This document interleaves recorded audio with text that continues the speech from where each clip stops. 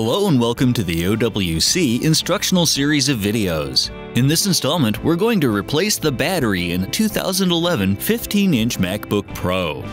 When replacing the battery in this machine, it's important that you calibrate the power management system in order to get the full use of your battery. We include these instructions as well, so be sure to watch all the way to the end of the video. We've already gathered our materials, shut down and unplugged the MacBook Pro, and are working on a soft static-free surface. We are now ready to begin.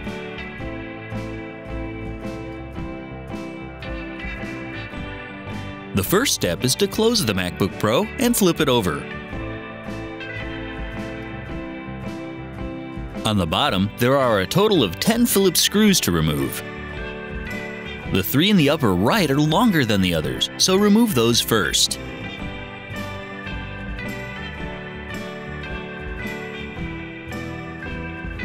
You can now remove the remaining seven screws, which are all the same size.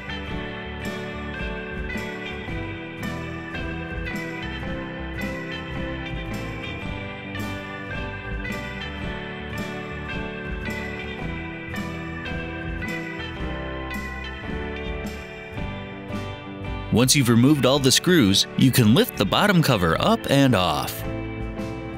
There are three tri-lobe screws which will need to be removed two in the open, and one hidden underneath the top part of this label.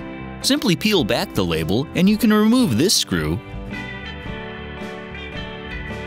along with the other two.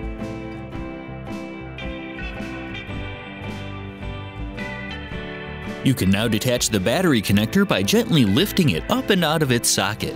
You may find it helpful to use a nylon tool to loosen it first. You can then pull up on the battery tab, slide the battery in so it clears the three screw mounts, then lift it up and out of the MacBook Pro.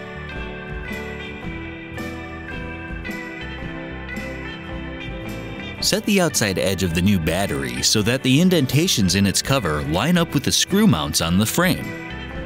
Then lay it flat in the battery compartment. You can now align the battery connector and push it into its socket. Finally, replace the three tri-lobe battery screws.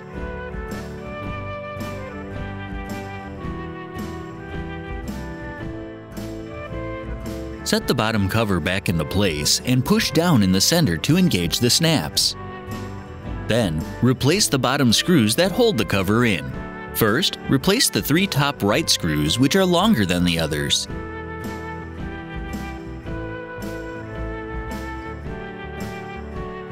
Then, replace the remaining 7 screws, which are all the same size.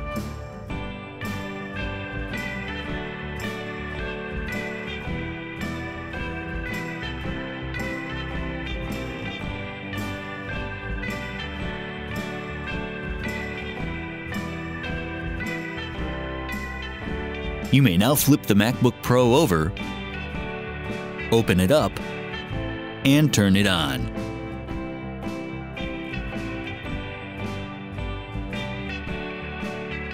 Now that the battery is installed and working, we need to calibrate the power system. We'll be demonstrating the process with a MacBook Pro, but it's the same for all MacBook models. First, shut your computer all the way down. Then, attach the power adapter. The light on the adapter should turn amber to show that the battery is charging. Once the battery is 100% charged, the light should turn green. Once it has, you should leave it connected for at least two more hours.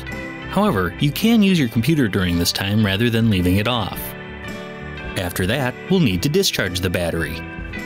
First, in the Energy Saver Preference pane, make sure all the sliders are set to the right and any power saving measures, like sleeping the hard drive, are turned off.